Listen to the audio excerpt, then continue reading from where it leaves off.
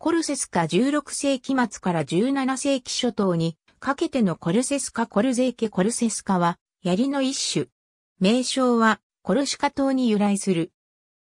15世紀にはドイツに広まっていたハーケンシュピース、コルゼーケ等の名称で知られる、左右の刃が大型化したものも存在している。ハット ABC オーギュスト・デミン、 An Illustrated History of Arms and Armour、From the Earliest Period to the Present Time P445 https コロンスラッシュスラッシュ archive .org スラッシュ details スラッシュ